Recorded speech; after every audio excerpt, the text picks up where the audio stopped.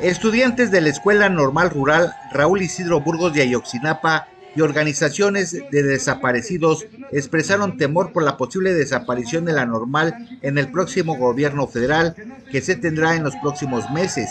Señalaron que ellos son formadores de maestros que atienden el medio rural, el cual consideran se encuentra abandonado por el sector educativo. Al hacer acto de presencia en el antimonumento a los 43, ubicado en el Paseo de las Banderas al sur de Chilpancingo, recordaron los hechos trágicos en Iguala a casi 10 años y demandaron justicia también para el estudiante asesinado Yankee Cotán N. No vamos a descansar, no vamos a estar en paz hasta encontrar a nuestros 43 camaradas desaparecidos y asimismo también obtener verdad y justicia por ellos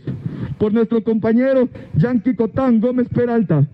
ya que como bien aquí todos saben, nuestras personas somos normalistas rurales.